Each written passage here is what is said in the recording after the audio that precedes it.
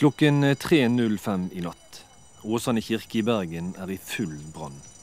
Flammene står ut av vinduer og tak. Trekirken fra 1795 er ikke til å redde.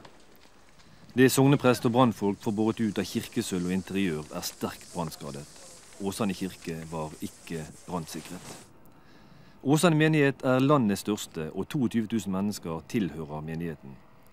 I hele dag har folk valfartet den brennende kirken.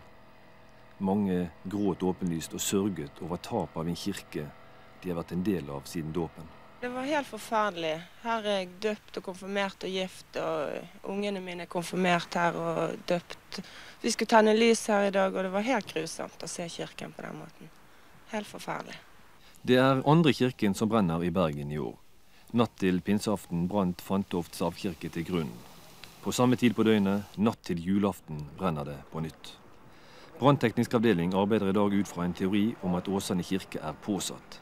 Politiet har flere spor å gå etter. Ved inngangsdøren til kirken hadde uvedkommende plassert en stol, slik at døren ikke gikk igjen og brannen fikk maksimalt med luft. Da vi fikk den første meldingen klokken 03.05, så gikk den ut på at kirken var overtent. Religionsforsker Carl M. Hartveit mener det er lett å se en felles symbolikk mellom de to kirkebrannene. I Johannes' åpenbaring er tallet 666 i okkulte kretser forbundet med endetid og alt det vonde. Fantoft stavkirke brant 6.6., Åsane kirke 24.12. Åsane kirke var fullforsikret og skal gjenoppbygges som gravkapell. I tillegg skal det bygges en helt ny kirke. Men vi har allerede planene klar for en ny kirke for denne menigheten. Den skulle stå ferdig høsten 94, og vi vil nå se om ikke vi kan få forsert denne byggingen slik at vi får den ferdig mye tidligere.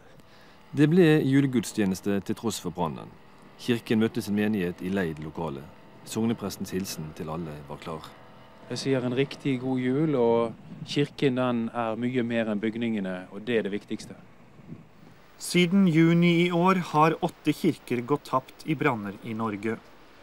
I november i år la Statens kulturminneråd fram en plan for Kirke-, utdannings- og forskningsdepartementet om brannsikring av kirker her i landet.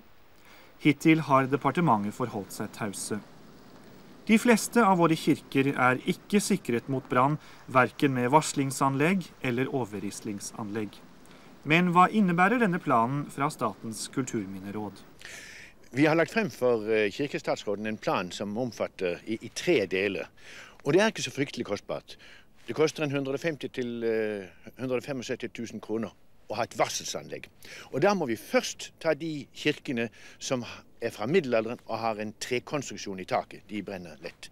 Selv om dette koster ca. 175 000 per kirke, hvor mener du at man kan ta pengene fra? Eh, jeg tror det var klokt om staten nå gikk foran og sammen med kommunen delte det beløpet. Og Statsråd Gudmund Hernes sier han vil syte for at brannsikring av kirker blir ei prioritert oppgave, og at dette skal takast opp som ei egen sak i Stortinget etter nyttår.